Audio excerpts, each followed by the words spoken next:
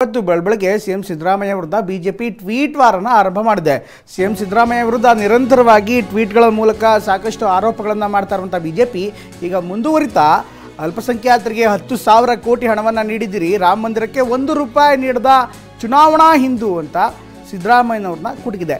ಚುನಾವಣಾ ಹಿಂದೂ ಸಿದ್ದರಾಮಯ್ಯರ ಅಸಲಿ ಮುಖ ಇದು ಅಂತ ಇದೇ ಸಂದರ್ಭದಲ್ಲಿ ಸಿದ್ದರಾಮಯ್ಯ ವಿರುದ್ಧ ವಾಗ್ದಾಳಿಯನ್ನು ಬಿಜೆಪಿ ಮುಂದುವರಿಸಿದೆ.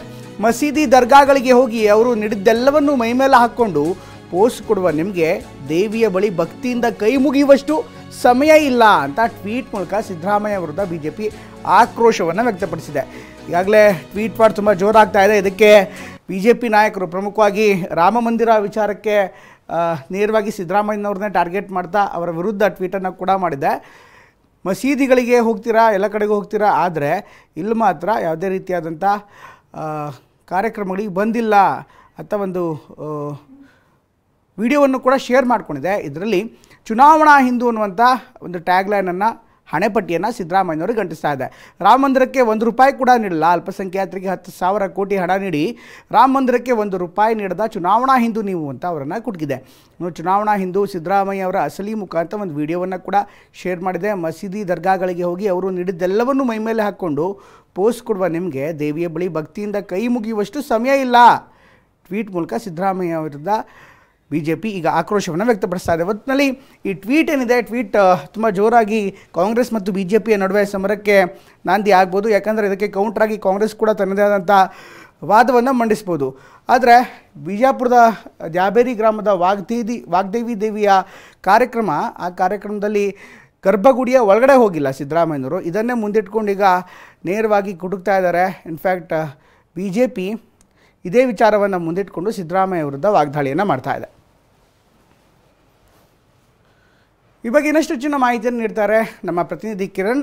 ಕಿರಣ್, ಈ ಎಲ್ಲ ಡೆವಲಪ್ಮೆಂಟ್ಗಳನ್ನು ನೋಡ್ತಾ ಇದ್ದಾರೆ. ನಿನ್ನೆ ನಡೆದಂಥ ಒಂದು ಕಾರ್ಯಕ್ರಮ ಇನ್ಫ್ಯಾಕ್ಟ್ ಬಿಜಾಪುರದ ಕಾರ್ಯಕ್ರಮ ಇದು. ಬಿಜಾಪುರದ ದೇವಿಯ ದೇವಸ್ಥಾನಕ್ಕೆ ಸಿದ್ದರಾಮಯ್ಯನವರು ಹೋಗಿದ್ದರು ಈಗ ಅದೇ ವಿಡಿಯೋವನ್ನು ಇಟ್ಕೊಂಡು ಬಿ ಜೆ ಪಿ ಇನ್ಫ್ಯಾಕ್ಟ್ ಸಿದ್ದರಾಮಯ್ಯನವರ ವಿರುದ್ಧ ಹರಿಯಾಯ್ತಾ ಇದೆ. ಇದಕ್ಕೆ ಸಂಬಂಧಪಟ್ಟಂತೆ ಬಿ ಜೆ ಪಿಯ ವಾಗ್ದಾಳಿ ಯಾವ ರೀತಿಯದ್ದು? ಜೊತೆಗೆ ಇದು ಮುಂದಿನ ಹಂತದಲ್ಲಿ ರಾಜಕೀಯ ಕೆಸರಾಟಕ್ಕೆ ಕಾರಣವಾಗುತ್ತಾ? ಪ್ರಮೋದ್, ಖಂಡಿತವಾಗಿ ಕೂಡ ಮುಖ್ಯಮಂತ್ರಿ ಸಿದ್ದರಾಮಯ್ಯ ವಿರುದ್ಧ ಅವರ ಕೆಲವೊಂದಷ್ಟು ನೀತಿಗಳ ವಿರುದ್ಧ ಬಿಜೆಪಿ ಸಿಕ್ಕಿದಂತ ಅವಕಾಶಗಳನ್ನ ಯಾವ ರೀತಿ ಬಳಸ್ಕೊಳ್ತಾ ಇತ್ತು, ಅದೇ ರೀತಿ ಹಿಂದೂ ವಿಚಾರದಲ್ಲಿ ಸಿದ್ದರಾಮಯ್ಯ ವಿರುದ್ಧ ಸಿಕ್ಕಿದಂತ ಯಾವುದೇ ಅವಕಾಶವನ್ನು ಮಿಸ್ ಮಾಡಿಕೊಳ್ಳದಂತಹ ಬಿಜೆಪಿ ಈ ವಿಚಾರದಲ್ಲೂ ಕೂಡ ಈಗ ಸಿದ್ದರಾಮಯ್ಯ ವಿರುದ್ಧ ಹರಿಹಾಯ್ತಿದೆ ಜಾಬೇರಿಯಲ್ಲಿ ನಿನ್ನೆ ದೇವಸ್ಥಾನದ ಒಳ ಹೋಗೋದಕ್ಕೆ ಸಿದ್ದರಾಮಯ್ಯ ಅವರು ನಿರಾಕರಿಸಿದ್ರು ಅನ್ನುವಂತ ವಿಚಾರವನ್ನ ಈಗ ಟ್ವೀಟ್ ಮುಖಾಂತರ ಕೈಗೆತ್ತಿಕೊಂಡಿರುವಂತಹ ಬಿಜೆಪಿ. ಮುಖ್ಯಮಂತ್ರಿಯವರು ಹಿಂದೂ ವಿರೋಧಿ ಅನ್ನುವಂಥದ್ದನ್ನ ಮತ್ತೊಂದು ಅವಕಾಶದ ರೂಪದಲ್ಲಿ ಬಿಂಬಿಸೋದಕ್ಕೆ ಹೊರಟಿದೆ. ಈಗಾಗಲೇ ರಾಮ ಮಂದಿರ ವಿಚಾರಕ್ಕೆ ಸಿದ್ದರಾಮಯ್ಯ ಅವರು ಯಾವುದೇ ರೀತಿಯಂತಹ ಒಂದು ದೇಣಿಗೆಯನ್ನ ಕೊಟ್ಟಿಲ್ಲ ಅನ್ನುವಂತ ವಿಚಾರವನ್ನು ಕೂಡ ಇದೇ ವಿಚಾರದೊಳಗೆ, ಅಂದ್ರೆ ದೇವಸ್ಥಾನಕ್ಕೆ ಪ್ರವೇಶ ಮಾಡದಿರುವಂತ ವಿಚಾರದೊಂದಿಗೆ ತಳುಕು ಹಾಕಿರುವಂತಹ ಬಿಜೆಪಿ.